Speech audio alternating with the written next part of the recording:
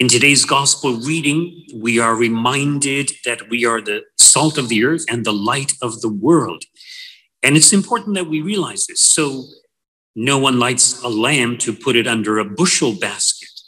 And we are this lamp, and we have been given this light by God, by the grace of God within us, by the very life of God within us. And it's only with the presence of God within us that we have the ability to forgive those who offend us in the proper way to, to the extent that we should to, to be able to love the, the least of our of our brethren. And we see this especially in the lives of the saints. So when god gives us the gift of faith it's not just for ourselves but it's for everyone around us in other words it's not enough for us to practice our faith on our own to hide our faith because then it's kind of like putting a lamp under a bushel basket. So, in other words, God wants our faith to be manifest to everyone around us. And when we do this, when we, when all of us make the effort to do this, Christianity will spread.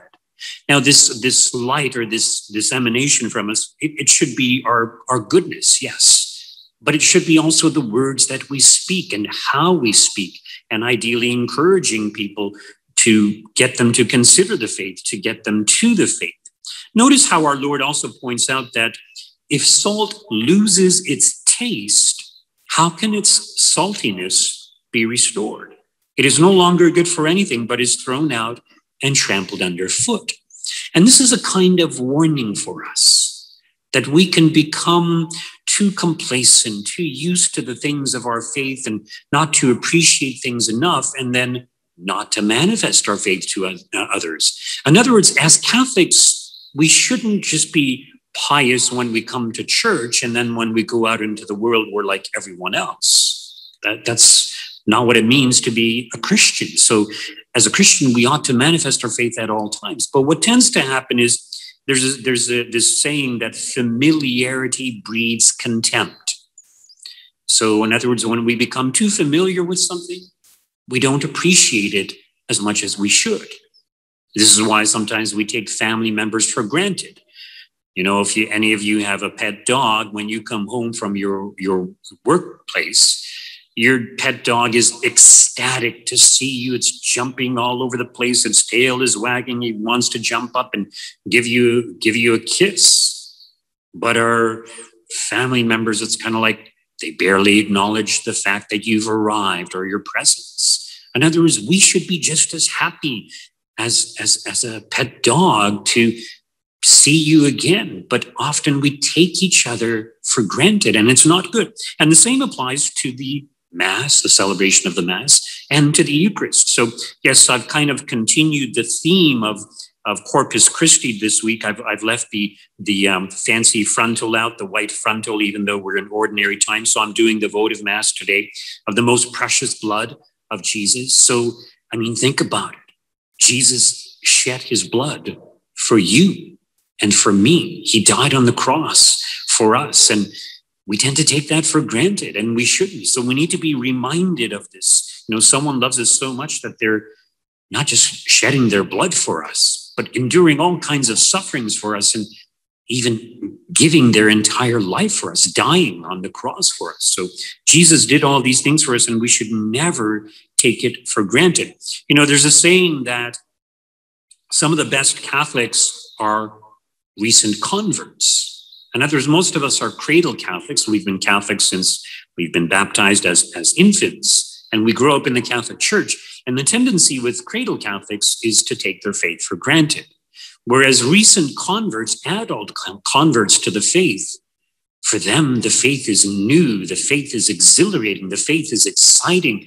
They want to share the faith with those around them. They know they need to kind of um, make more of an effort to become truly the way that Christians are called to be. And this is the ideal for all of us. The problem with many of us is that we think we're okay where we are.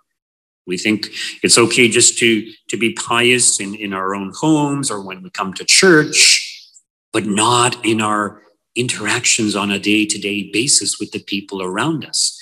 And our Lord is saying, this is not good because if we are like salt that has lost its flavor, then we're useless. We're good for nothing except to be thrown and, and trampled underfoot.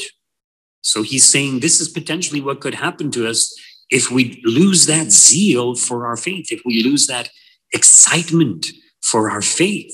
So it's a good reminder to us. And it's a, it's a reminder to us to do what we can to become better Christians, to be more of a good example, a light to, do, to those around us, and ideally to try to spread the faith to everyone in, in society.